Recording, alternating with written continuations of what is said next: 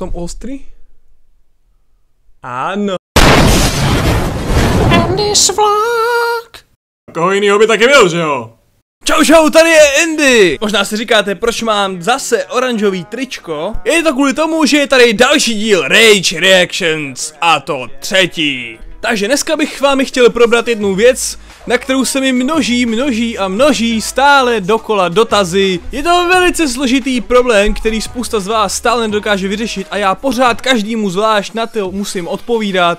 Už jsem si to chtěl dokonce sepsat a pak každému jenom ctrl, ctrl, poslat stejnou zprávu. Jenomže už mě to vážně přestalo bavit. Takže je tady video a od tohohle videa všechny tyhle komentáře a dotazy budu ignorovat, nebo na ně budu dávat odkaz na tohle video, protože je jich opravdu strašně moc. O co se vlastně jedná, si asi říkáte? Je to velmi prosté a jednoduché. Množí se mi dotazy typu Andy, já mám tu mapu úplně bílou, co s tím mám sakra dělat?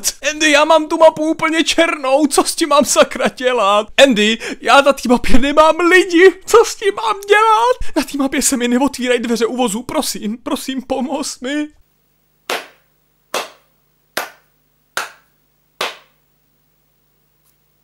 Ano, tyhle dotazy jsou úplně nejčastější, nevím proč. Uh, spoustu z těch problémů jsem ani já sám v simulátoru neměl, ale můžu vám dnes popovídat o tom prvním a asi nejčastějším dotazu, který se stal i mně a několika mým přátelům. Jedná se o to, že má někdo mapu buď bílou nebo černou. Je to takový docela zvláštní, zepnete si simulátor, říkáte si, jak budete hrát a místo normálně kolej, trávy, vagónů a lokomotiv prostě vidíte jenom černou nebo bílou obrazovku s pár takovýma divnýma obrazcema. Tenhle problém zatím vývojáři hry ani jak se zatím zdá nedokázali vyřešit. Co vím od kámoše, řešilo se to i na několika nejen českých, ale i německých forech, kde ani sami tvůrci stále nechápou, proč se tenhle problém děje. Je to něco ve spojením mezi systémem Windows, antivirem a grafickou kartou. Takže co vám mohu doporučit? První věc. Přesuňte si Train Simulator složku do nesystémové složky, to znamená například složku Steam z Program Files, do nějaké jiné složky, například